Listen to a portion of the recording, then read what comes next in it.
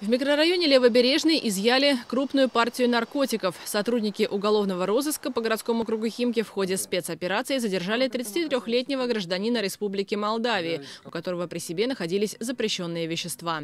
В ходе личного досмотра у мужчины обнаружен изъят сверток из полимерного материала с веществом растительного происхождения внутри. Исследование показало, что изъятое вещество является наркотическим средством гашишем общей массой более 2 килограмм. По данному факту возбуждено уголовное дело по статье 228 Уголовного кодекса Российской Федерации. Правонарушителю грозит до 10 лет лишения свободы.